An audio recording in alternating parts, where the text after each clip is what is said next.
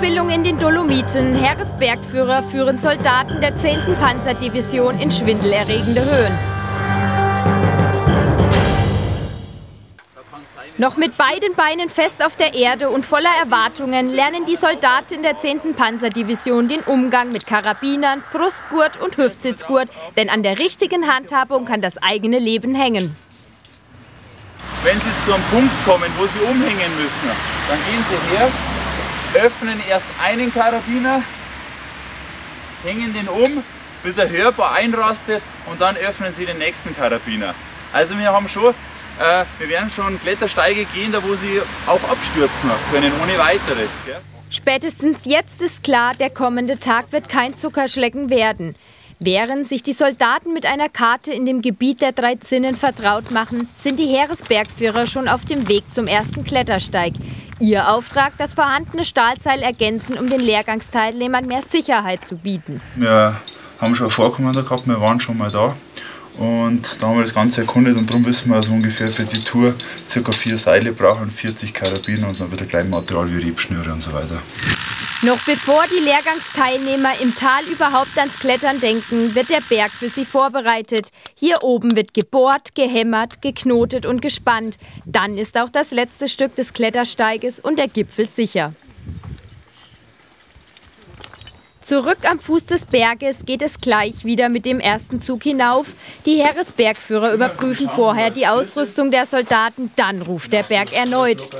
Nicht jeder ist bei dieser Art von Klettersteig trittsicher, doch mit kleinen akrobatischen Einlagen und der Hilfe der Heeresbergführer können auch schwierige Stellen gemeistert werden. Es wird geklettert und gestiegen, höchste Konzentration bei allen Teilnehmern. Denn nur durch die Kletterausrüstung und das Stahlseil werden die Soldaten am Berg gesichert.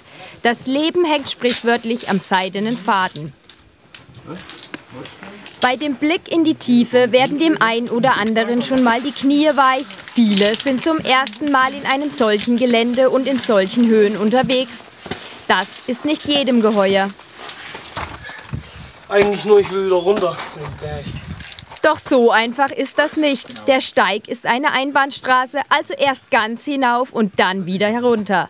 Bei manchen Neulingen am Berg schwinden da die Kräfte. Jetzt muss der Heeresbergführer eingreifen, um seinen Kameraden zu sichern. Das ist einfach das Gehen am kurzen Seil, indem man einfach sein Gefühl ans kurze Seil nimmt und dann unterstützt man halt einfach. Habe ich die Möglichkeit, dass ich Seil immer straff lasse, aber auch der Geführte das Gefühl Sicherheit. Und somit ist dann das eigentlich meistens die letzte Möglichkeit, dass man einen sicher hochbringt oder mal runterbringt.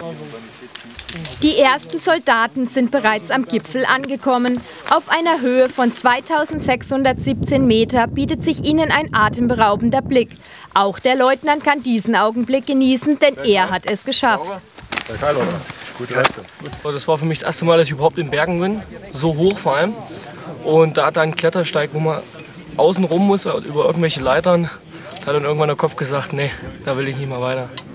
Nachdem die Wand aufwärts von allen gemeistert wurde, geht es nun an den Abstieg. Der scheint im Vergleich fast ein Klacks, doch ohne Heeresbergführer geht es nicht. Nur mit deren hervorragenden Hilfe habe ich mich hier absolut sicher fühlen können. Alleine würde ich mich in dieses hochalpine Gelände nicht trauen. Also wer das tut, der muss schon sehr viel Erfahrung mitbringen und auch eine gute fundierte Ausbildung haben. Und daher mein tiefstes Kompliment vor den Heeresbergführer, die hier ohne Sicherung hochsteigen und alles daran setzen, dass ich hier absolut sicher ankomme. Nachdem die Heeresbergführer die zusätzlich verlegten Seile entfernt haben, geht es gemeinsam die letzten Meter bis ins Tal.